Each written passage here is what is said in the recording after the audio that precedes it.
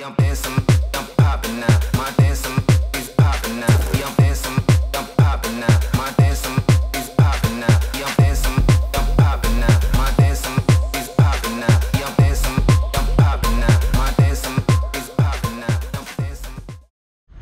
chào mừng tất cả mọi người đã cùng quay trở lại với channel của GZ MLG Và đây chính là Bphone B86 mà mình đã chia sẻ cho mọi người trong video trước, Đó chính là đánh giá hiệu năng về nó, cùng với con chip Snapdragon 675 và ngày hôm nay thì mình đi ra ngoài không ở trong studio nữa để có thể dùng chiếc máy này chụp một vài tấm hình và cũng như là đánh giá nhanh về camera của nó. Và tất nhiên là trong video ngày hôm nay mình sẽ không chỉ đơn thuần là mình đi một mình để chụp các thứ về chiếc máy này Mà mình còn mời thêm cả hai bạn nữa cực kỳ đặc biệt. Và đã có em?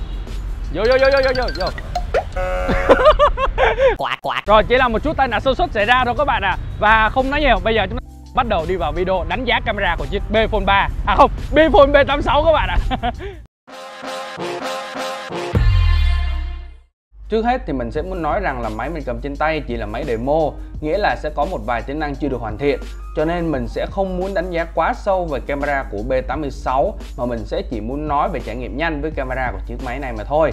Nên nếu có những gì chưa tốt thì chúng ta sẽ phải đợi bản chính thức để biết được chất lượng thực sự như thế nào nha. Ok, tính năng đầu tiên mà mình muốn đi thẳng vào để trải nghiệm ở camera của chiếc B86 đó chính là khả năng chụp khoảnh khắc bằng nhiếp ảnh điện toán đây là thứ mà mình đã mong chờ từ rất lâu của Bphone thế hệ mới sau hàng loạt những chia sẻ của bác Quảng trong group BFan. Trước hết là mình phải nói tính năng này rất là dễ chụp. Mình chỉ cần cầm máy lên, sau đó cố định khung hình vào vật thể mà mình muốn chụp và cũng như là bắt chuyển động, sau đó bấm chụp mà thôi. Việc còn lại thì máy sẽ tự động lưu ảnh khi có chuyển động xuất hiện. Quá trình chụp và lưu này thì tính từ khi máy bắt được chuyển động á, thì sẽ mất là khoảng 10 tới 15 giây. Về các tấm hình mà mình chụp được thì mình rất là hài lòng với nó. Ảnh chụp cho độ chi tiết cao ở mức full size 12 megapixel. Ở các vùng nước, khi zoom lại, các bạn có thể thấy là máy bắt chuyển động rất là tốt, Không có hiện tượng nhòe ảnh. Tái tạo rất tốt, những chuyển động mà đúng thật là mắt thường mình cũng không thể nhìn thấy được. Điểm hay của tính năng này đó là tất cả những tấm mà máy chụp được trong cùng một thời điểm đó chính là đều là ảnh full size 12 megapixel. Nghĩa là bất cứ khung hình chuyển động nào máy bắt được đều cho các bạn một mức chi tiết tốt nhất tương đương nhau. Như vậy là mình có thể tha hồ chọn những khoảnh khắc đẹp nhất sau đó up thẳng lên Facebook, Instagram mà không lo là sẽ bị giảm chất lượng và điểm cộng nữa đó chính là những tấm hình mà máy chụp trong cùng một lúc như vậy, phần mềm sẽ tự động tạo ra cho bạn một ảnh GIF dựa trên những tấm hình đó. Cho nên bạn có thể gửi ngay cho bạn bè hoặc là chia sẻ cho ai đó coi những khoảnh khắc tuyệt vời như vậy. Có thể nói, kiểm chứng được khả năng chụp khoảnh khắc xong thì mình cũng rất là tin được những gì mà BKV đã trình bày trong buổi ra mắt rồi. Thực sự nó khiến cho mình quá là thuyết phục và cảm thấy rất là tuyệt vời ở tính năng chụp này luôn. Tiếp đến chuyển sang những điều kiện bình thường khác như điều kiện đủ sáng này. Những bức ảnh mà mình chụp được thì vẫn thấy khá là hài lòng với nó này Như là chi tiết ngon, tương phản khá là cao, màu sắc khá là trung thực. Nhưng mình là gu thích ảnh mắt một chút nên những cái màu sắc của Bphone cho ra thì mình không hài lòng lắm. Tuy nhiên mình vẫn có thể hậu kỳ về màu sắc nên cái này sẽ là một cái vấn đề không có quá là to tát đối với cá nhân mình còn khi chuyển sang 5 6 giờ chiều thì mình có chụp thử một tấm thì ảnh bên cho ánh sáng tổng thể khá là ok. Hai bạn nữ mới của Gen Z đứng đây từ chiều đến giờ thì lên ảnh màu da sẽ có hơi có phần hơi tối một chút.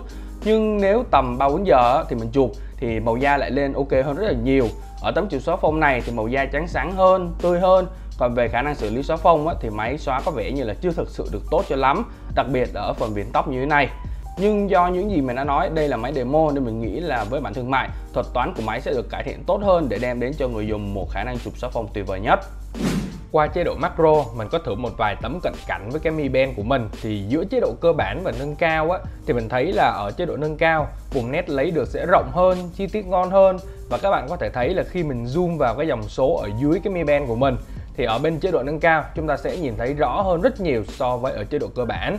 Tuy nhiên một lưu ý nho nhỏ là vật thể mà bạn chụp macro thì sẽ phải đứng im một chút. Chứ nếu mà chuyển động quá thì ảnh của bạn chụp được thì nó sẽ giống như thế này này.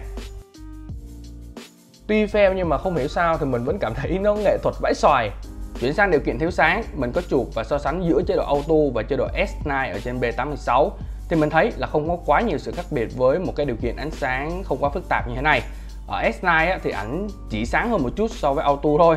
Nhưng điểm cộng là S9 sẽ cho bạn một chi tiết tốt hơn khi zoom vào. Đồng thời thì máy cũng khử noise để nhìn nước ảnh mịn hơn và đây là điểm mình rất thích ở chế độ S9 Tiếp đến là khi mà mình vào điều kiện tối hơn, nguồn sáng chỉ có đúng một cái đèn ngủ trong phòng mình. Mình có thử phơi sáng ở mức đó chính là ISO là 100 nhưng mà chập sẽ ở các mức như là 4, 8 hoặc là 16 giây.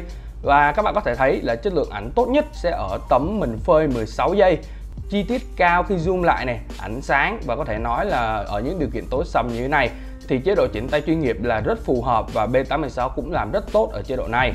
Ok và đó là những cái hình ảnh mình chụp được cho ra từ chiếc Bphone B86 Không biết là các bạn có thích những nước ảnh cho ra từ chiếc máy này hay không. Đặc biệt là cái khả năng bắt khoảnh khắc của nó cực kỳ là ấn tượng. Và nếu như bạn thích đừng quên để một like và để một phần bình luận phía dưới để cho mình biết nha. Cuối cùng đừng quên nhấn share và subscribe Gen Z. Và nếu như các bạn thích hai bạn nữ này xuất hiện thêm trong nhiều video khác của Gen Z Thì cũng đừng quên làm những thứ mà mình đã bảo ở trên. Và cuối cùng thì bây giờ ừ, Và cuối cùng thì hẹn gặp lại mọi người trong những video tiếp theo. Peace. Bye bye, bye.